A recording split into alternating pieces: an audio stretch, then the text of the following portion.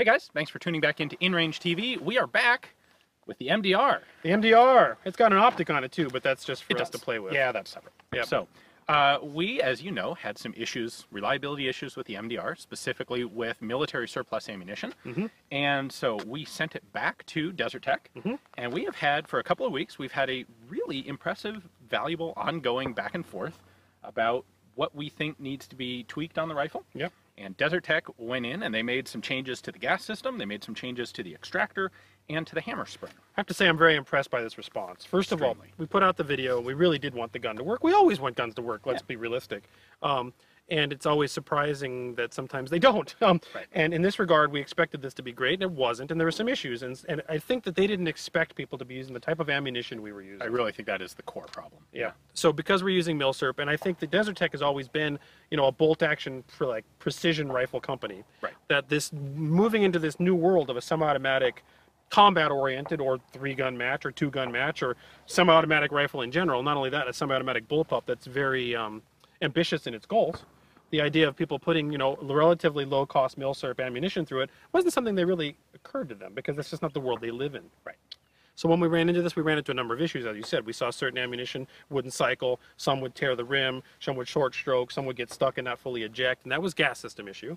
And then we also had light strikes on hard primers. Yep. And and so what they've done is they've modified the gas system, right? So we got Yep. six ports now. So there were six ports to begin with, Okay. but what they've done is changed the sizes of them. The So dimensions.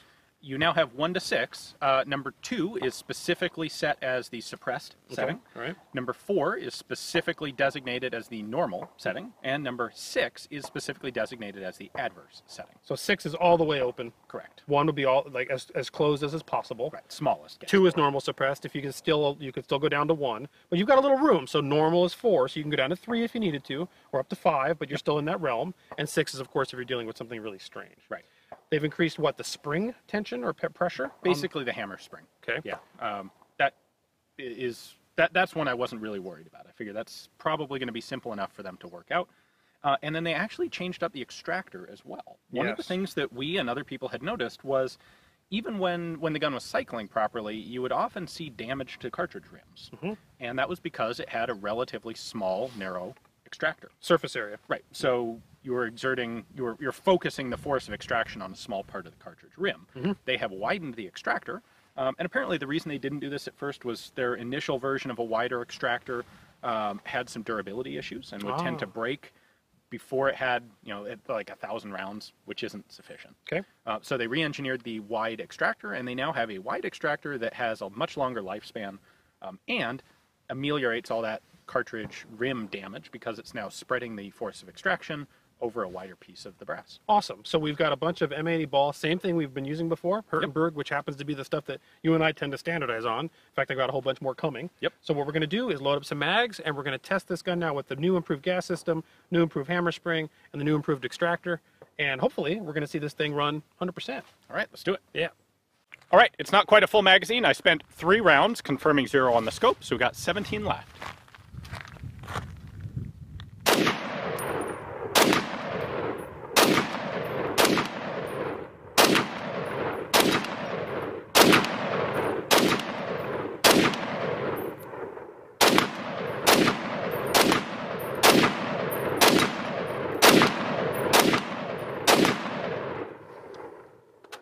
And I'm out. All right, so I've got another 20 round mag of M80 ball Hirtenberg.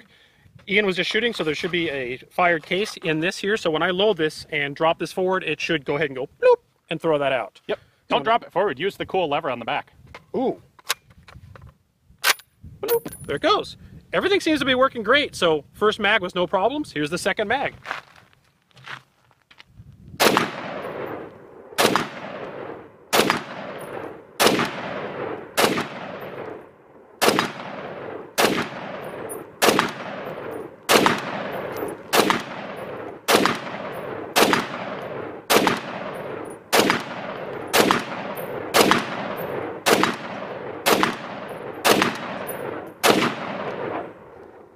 Nary an issue whatsoever. Two mags, 40 rounds, no problems.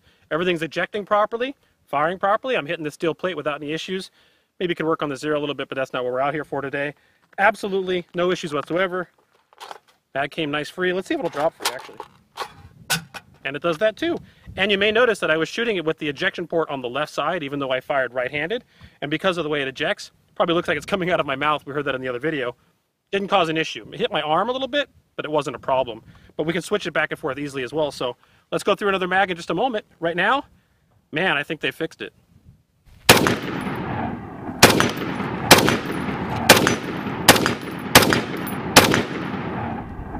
That's a lot easier to hit with quickly from prone.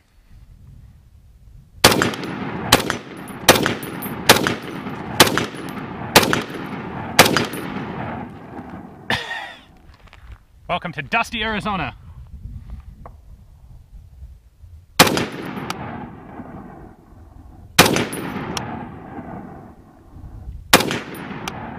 If I hit the very top of the target, maybe I can knock it over.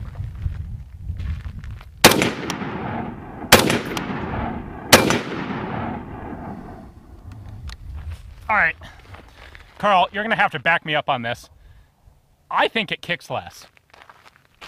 I think whatever they did to the gas port sizes, I think it actually kicks less. And I wonder if that's just me. And if it's not just me, I wonder if it's a function of having the wider extractor, meaning uh, that they're able to actually use a bit less gas pressure. Uh, I don't know if that actually makes sense. It's just what's occurring to me off the top of my head, but this this actually feels like it kicks a little bit less than last time. All right, guys, I'm going to go ahead and shoot this prone as well to see if I see a recoil reduction like Ian perceived. But you know, I don't need to shoot this in this left-handed config, even though it's not an issue.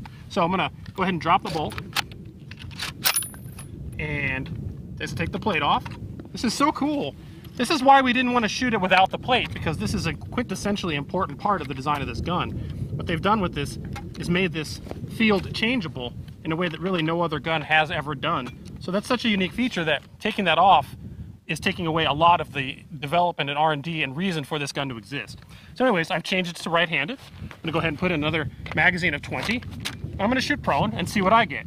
I wanna remind everybody that we're on normal, essentially setting four on the gas system, which is nowhere where we were with the original. We had to be all the way up at six. So this is working well with M80 ball mil spec stuff on four.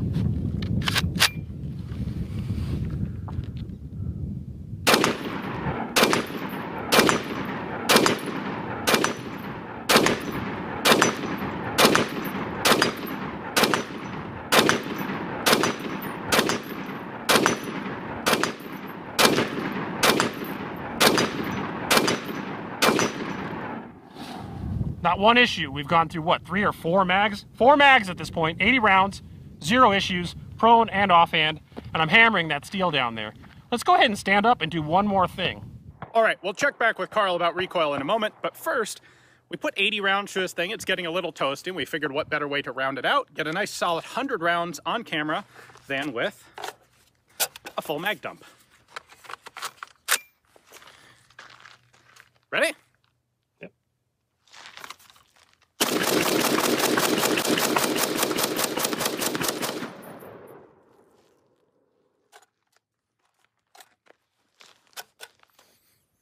100 rounds, literally not a single malfunction of any kind. Let's get that last case out.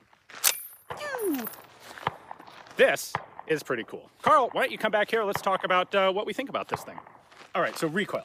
Yeah, the recoil. We, we kind of bypassed that because yeah, we, wanted did. to just blast more ammo through it. Well, I got excited shooting prone because the gun's working and it had yeah. no issues, so that was exciting. And I forgot about the reason I was shooting prone.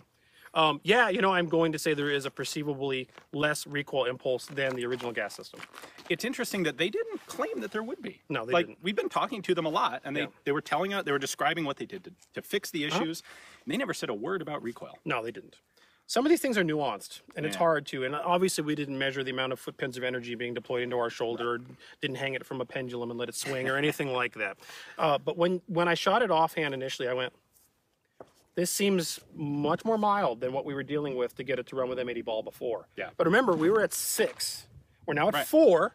Now the gas ports are completely different dimensions, so it kind of doesn't even matter. Yeah. But we were at we were at six, and now we're at four, and on top of that extractor as well. Um, it absolutely was much more mild to shoot now than it was before. This thing, 20 rounds prone previously, actually was uncomfortable and, and verging on painful. Jarring would be the Yeah. word. It was jarring. Yeah. Yeah. Um, Nothing- It is, it is not this time. Nothing- That, that really takes me by surprise. M80 ball Hirtenberg in this on gas setting four normal is no longer jarring.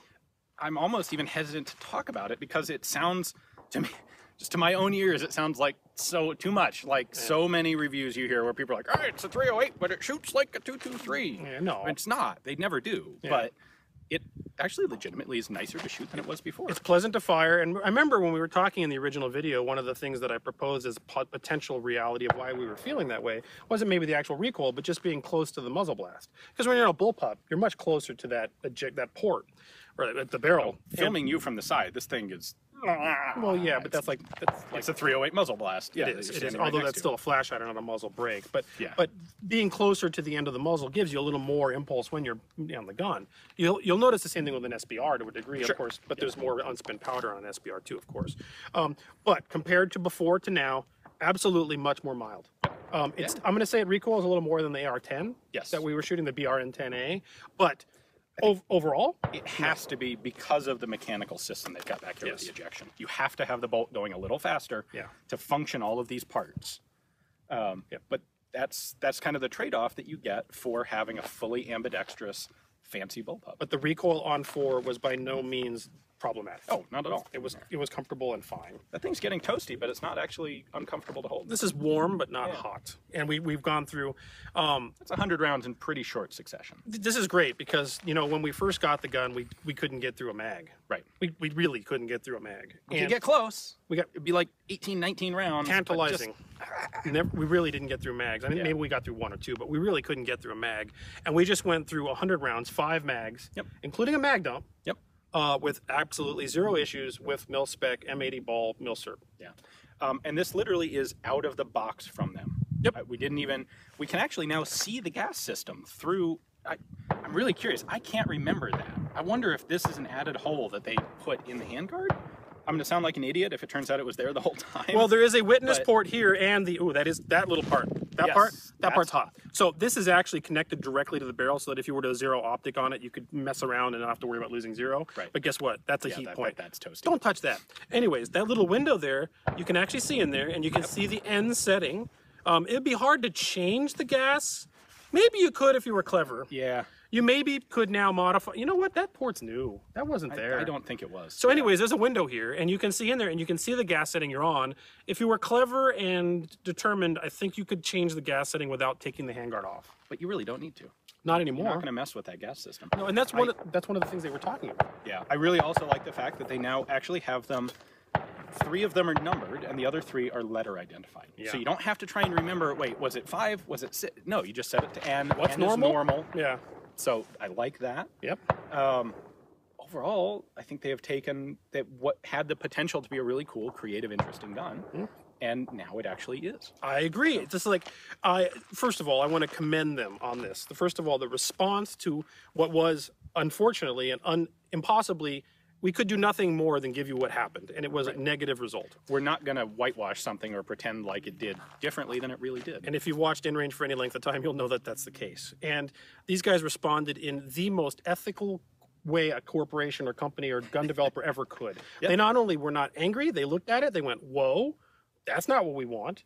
What happened to you? And then we had a number of calls with them discussing all the things that we experienced, mm-hmm. the ammo that we used, some of yours and mine thoughts about maybe these are ways that this could be remediated. They had their own thoughts as well. And we actually collaborated with them in multiple sessions and calls. They put mm. out a video from the CEO and president saying, here's what we're doing. and you know he's the CEO because of how awkward he looked on camera. Yeah.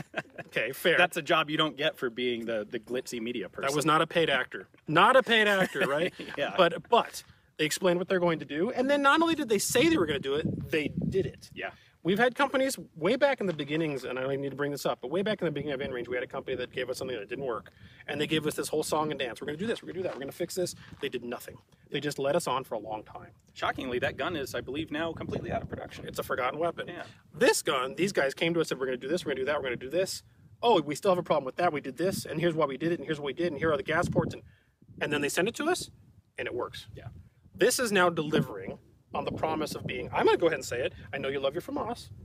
this is the most technologically advanced bullpup there is now. It is more advanced, yes. Yes, they have addressed the ambidextrous issue. Mm-hmm. You do not have to take off the cover to use the gun, which is a ridiculous reason to use the gun. The reason, half the reason this gun exists is because of that. That's an incredibly great feature. I'm not pointing this at you on camera.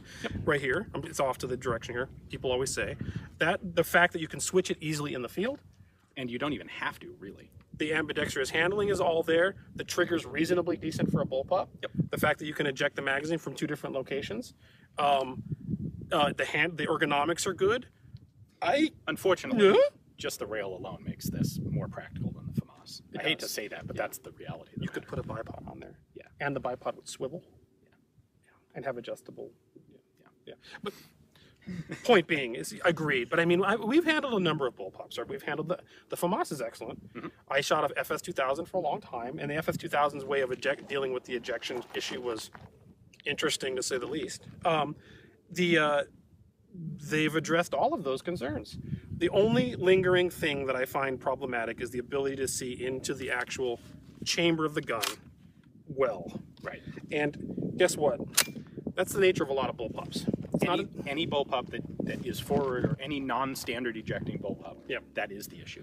so you can take off the plate and see in there if you really need to. Um, so I would I would caution anyone that's a user of this gun or any other bullpup that isn't really easy to clear, like see in there, to make sure that you have a clear gun when you don't trust the mechanical parts, trust your eyes, right? Make sure it's an empty chamber.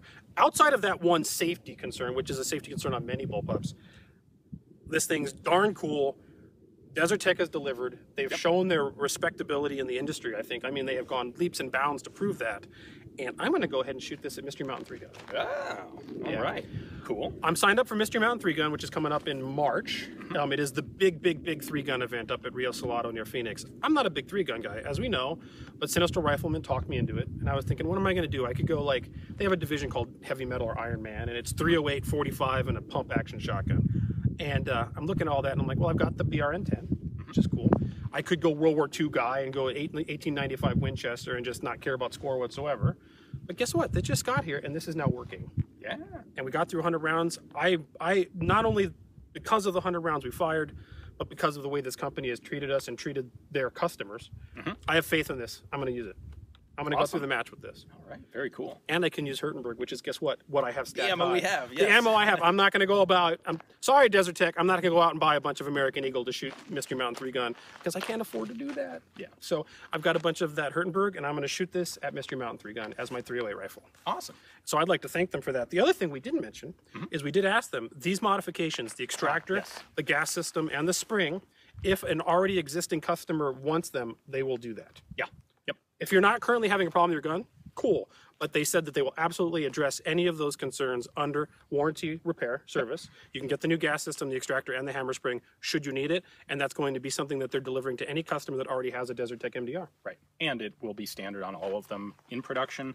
I think actually from the date you see this video, they're already standard in new production. So if you if you're interested in this and you want to buy one, anything you order from from here out has all of these corrected, improved features. And I would, I'm going to go ahead and I'm a, I know for a fact I can't. I, I'm not going. to I'm going to speak for them because I'm sure their answer would be this: if you bought one that was on the shelf that didn't have the new parts on it, they'd get they'll them. fix it. They'd get them to you. Yep. So uh, these guys have done an outstanding job. They've designed a very interesting gun that's taken a, a while to get to the market. But I'm really excited, really, honestly, legitimately excited that you and I got to be part of actually just a little bit of making this thing where it make it meet its optimal potential. it's quite gratifying. It really is to, to, to work with them and have that opportunity and not only do a video about a cool gun, but to actually be a part of being uh, able to make something that should have been there already there now is exciting. Yeah. And I'm thankful. All right. Well, there you have it, guys. Um, I think, well, obviously, we'll have some more footage with the MDR uh, once SMM3G happens. Uh, a little delayed after the match, whatever, whenever we Mm-hmm. Yeah, there's always those a published. backlog But, on that uh, stuff. But very cool. So thanks to Desert Tech. Thanks for you guys. Um, if you're looking for a 308 bullpup, if uh, frankly, if you're looking for a 308 modern rifle, There's not a lot of choices. and a lot of them are like, eh, would you want a 308 Tavor? Personally, no. But you know, that's a question of taste to the individual, and some people like them. And there's, I'm not going to say, I'm not saying there's anything wrong with them, but at this point, given what they've done and how they've remediated the issues, oh, I would absolutely go with this. Yeah. Uh, So, there's a lot of reasons for that. I'd take this over a Tavor or an uh, Keltec, an RFB. Yeah, and the, actually, the RFB handled you. That that treated you reasonably well. The RFB, the 308 one, Yeah. which we don't Oh. have any video on. No, no, that's correct. Yeah. But I take one of these instead. Yeah, yeah. No, I agree. I agree. They've uh, they've they've delivered to the market what they said they would, which is I really am going to say this top of the line, most advanced bullpup in 308. And there's a 556 coming. Yep. So uh, I, I I'm astonished, and I think that if you watch the original video where we had problems, watch the video from Desert Tech, and then watch this, you're going to see that we've done a complete 180 degree turn. This rifle is good to go. Um, whether or not you like bullpups is another conversation. Yes. That's neither here nor there. If you need a bullpup and you want a bullpup 308, I will thumbs up on this gun. Yep. So Same here. All right. thanks Desert Tech for being those guys that you are and for coming through to not only us but the entire industry of people that you've been promising this gun for because you've delivered. So, All right. Close us out. yep. So thanks for watching, guys. Uh, by the way, they did give us this gun. Yes. We did not buy this. This was this was provided to us. So so you know, but it was also provided to us when we said it wasn't working either. You saw the video when we first got it. So, guys, if you like this kind of stuff, please consider supporting us on Patreon. We did go through a mega ton of 308 in the process of working with them on this issue. Today, we only went through 100 rounds, but we went through a lot more for the other videos. It's Patreon that pays for that kind of stuff, and it's you, the viewer, that supports us because we're not monetized in any other way. If you can't do that, we understand. Just share and subscribe. You can find all of our distribution channels on inrange.tv. Thanks a lot.